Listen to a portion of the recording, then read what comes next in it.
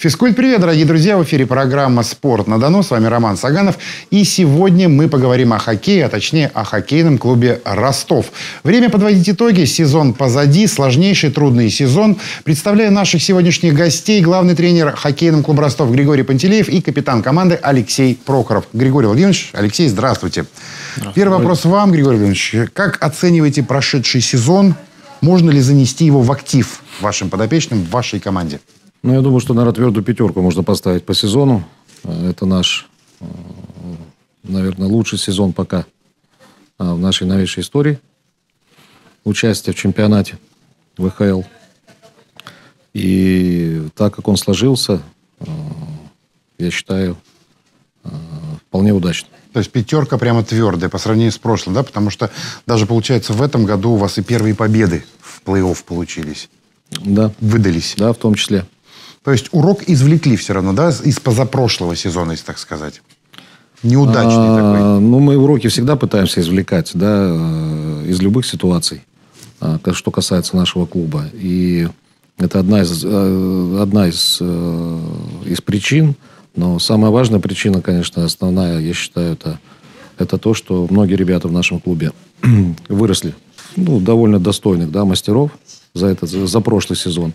И в этом сезоне показали, на что нереально способны. Леш, как ты оцениваешь свое выступление, как э, сезон, и можно, можно ли себе занести его в актив? Ну, конечно, можно занести в актив. Ну, сезон провел, наверное, на, на твердую четверку, как личный игрок. А, конечно, был небольшой спад, наверное, ближе к Новому году, но в основном старался приносить максимально пользу команде. А, может быть, что-то не получилось в плей-офф.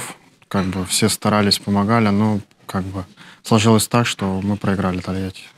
Тогда у тебя первого спрошу, потом у тренера. Что не получилось с Ладой? Потому что, знаешь, после матча мы с тобой когда общались, и я тебе процитировал э, хоккейных специалистов, которые назвали это битва чуть ли не титанов вообще ваше с Тольятти противостояние.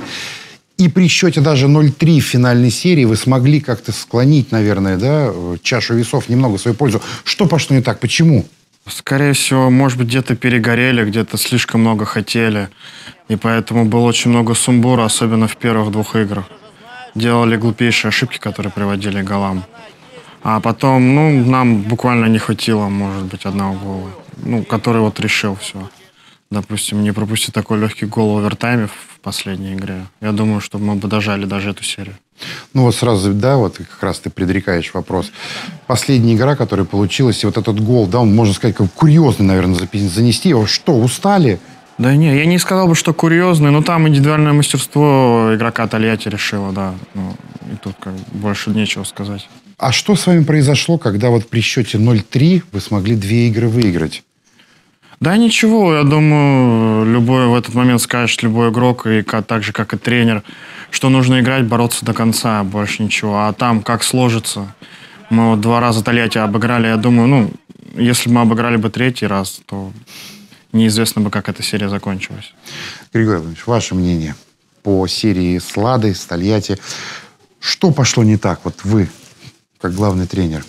Ну, я бы не сказал, что прямо с самого начала, потому что как бы там ни было, все равно мы проиграли только в одну шайбу, первую игру, да. Вот. И был шанс у, нее, у нас зацепиться и за, и за ту игру. Но самая большая проблема, я это уже об этом говорил, буквально не так давно. Наше исполнительское мастерство, конечно, желает, оставляет желать лучше. Потому что ребята играли даже с тем количеством ошибок, которые мы совершали, даже с тем количеством глупейших ошибок, которые мы совершали, да. Вот. Мы создавали достаточно моментов, чтобы забивать голы. Но я уже повторялся, повторюсь и опять же да, говорил, что если команде соперника нужно 2-3 момента, чтобы забивать гол, нам нужно 5-6. Это просто индивидуальное мастерство. Может быть, где-то волнение лишнее, да.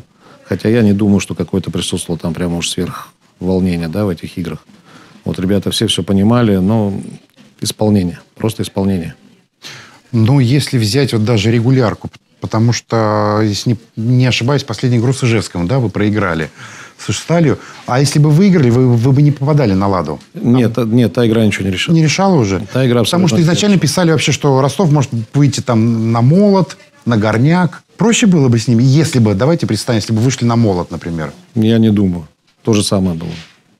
Была бы битва, были бы плотные игры. Я не думаю, что была какая-то большая разница. Ну да, они немножко по-разному играют, там есть свои нюансы, но в целом, э, я думаю, было бы то же самое. Ну, согласитесь, в регулярке были у вас и неудачные игры, когда могли выигрывать. Хотя тут вы и Барс обыграли вы впервые вообще, да, в сезоне, получается? Ой, в, в истории. Два раза. Да. И были прям реально неудачные игры. Ну, без этого ни один сезон. А почему так происходит? Вы можете обыграть лидера, а потом через 2-3 тура проиграть заведомо аутсайдеру. Ну, может, кто-то не с той ноги встал. Я не знаю, что у них в головах. То, что, то, что касается нашей работы, да, подготовки к играм, да, э, настрою на игру, э, разжевывания там некоторых моментов, ситуаций и так далее, я думаю, мы делали все, что могли. Да, но когда ты говоришь одно, а в итоге получается другое, после этого приходится после первого периода забегать э, с такими глазами, да, и начинать, извините за выражение, говорить им, что они делают не так. Вот. Они и, и, и, и, и, почему так происходит, да? Ну, так бывает. Нельзя, знаешь, как это, это человеческая сущность такая. Нельзя все время себя держать э, на максимуме концентрации там, да, то есть это э, не всем под силу, во-первых, да, во-вторых, ну, опять же, повторюсь, все люди, да, у каждого может быть ну, любая ситуация, может в семье что-то не так, да, может он спал плохо, может быть еще что-то, да, и просто иногда физически э, ребята могут быть не готовы, а иногда просто какой-то недонастрой присутствует. Ну, это просто психологически, да? Это еще, все момент психология, зайдет. и вообще все. Голова забита другим у него, да? Да, да, да, это А все как вам получается перенастроить парня, например, даже по ходу игры? Вот вы видите, что он может, да, но чем-то другим он забит. Ну, вы знаете, тут каждому, каждому особый подход нужен. Иногда надо вставить, грубо говоря, да, так, Грубо. Мягко, да. Мягко, грубо говоря. Вот. Э, Ну, вы знаете, тут ну, очень тяжело. У меня бывали, есть игроки в команде, с которыми я пробовал по-разному. Я, И пробовал, пряник, я да? пробовал его и ласкать, я пробовал э, и на него ругаться, скажем так, да. Вот. И все равно ни в какую ничего не получалось. Но в конечном итоге, э, не буду, не буду называть фамилию, да, вот, он э, стал одним из лучших игроков после этого в плей-офф. Хотя э, по сезону у него ну, много, много чего не получалось. Леш, самая неудачная игра, на твой взгляд, в сезоне, если взять. Вот где должны были выигрывать, но вот что-то пошло не так, где-то что-то, может, сломалось. Ну, обычно такие игры забываются. Ну, тут с кем мы очки, наверное, теряли? В Воронеже, в Пензе.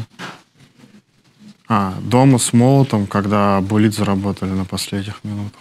Пару выездов неудачных у нас было. Так-то в основном даже не помню. Смотри, тогда вопрос такой, знаешь, вот э, риторический, наверное. Когда ты совершил ошибку, да, во время матча, которая там привела там, к голу, например, насколько ты быстро можешь восстановиться, забыть об этом и постараться исправить ее? Сколько тебе времени надо? Сразу. Ну, то есть надо ее исправлять, стараться и двигаться дальше. То есть ты не зацикливаешься на этом, да, вообще? Ну, если зацикливаться, я думаю, можно и до конца игры сидеть и думать об этой ошибке. Но опять же, тоже и тренер, да, может подсказать, может помочь и где-то вовремя, как говорится, вставить, да? Да. Леш, э, в этом сезоне ты капитан. Э, Насколько сложно быть капитаном команды? И вот э, какие у тебя функции дополнительные? Да я бы не сказал, что прям сложно. Ну, главное это заводить ребят, подбадривать, как бы, чтобы до тренеров это не до- доходило. Как бы, ну, небольшую химию как бы в команде налаживать. А в основном все так же, как бы нужно быть лидером, главное, на поле, чтобы за тобой тянулись. Ну и с судьями разговаривать еще, да, приходится часто? Ну, это нет. Я помню первая игра, когда вот меня поставили капитаном. Потом после нее судьи высказали то, что слишком, ну, как бы часто подъезжал. Вот, поэтому, как бы, это в основном дело тренеров, мне кажется, как бы, чтобы а судьи сами подъезжают, объясняют, в чем ошибка, а там а в роль капитана вообще ни- ничем не влияет. То есть после первой игры ты не перестал разговаривать с судьями, да? Да, я старался Лучше от греха меньше. подальше это все сделать. Как ты настраиваешь своих партнеров в, в- в перерыве даже, да, ребят, э, взбодришь? Или давай по-другому. Кто у вас такой самый главный заводила, который может взбодрить команду, если не ты, например? Да все, все пацаны прекрасно понимают, э, Тренер улыбается. Мне, мне просто самому интересно, кто. Ну, тренер, например, Да. дал установку и вышел из раздевалки. Кто у вас там кричит, парни, давай порвем их? Не, ну в основном это капитаны и помощники капитана ассистента. Это получается Жека Петриков. Вот как раз, да, вот. вот это, вот это так- А, нет, в основном, ну, все друг друга стараются подбадривать, и нету такого, чтобы как бы кто-то один всегда говорил все вместе, потому что мы одна команда, мы как бы мы друг за друга выходим побеждать. Тут нету каких-то явных лидеров в этом плане. А кто может вовремя пошутить, сказать нужную шутку, чтобы развеселить, когда все поникшие, например? Антипов тоже такой вот у нас есть. Балабол. Григорьевич, а вы, получается, такой прям строгий наставник, да? Потому что... Или шутите все-таки с командой? Можете зайти, какую-нибудь такую байку рассказать в, в перерыве?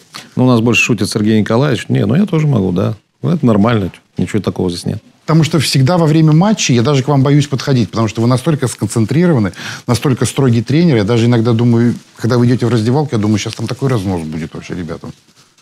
А вы еще, кажется, шутку заходите, рассказываете. Ну, в основном эти шутки бывают перед игрой. То есть во время матча, да? Во время матча бывает редко. Бывают какие-то смешные ситуации спонтанно, которые да, могут возникнуть. Вот. Но... Кто-то упал неудачно, да? Ну, кто-то упал, не, кто-то упал неудачно или что-нибудь случилось такое в раздевалке. Там, чихнул кто-нибудь или еще что-нибудь.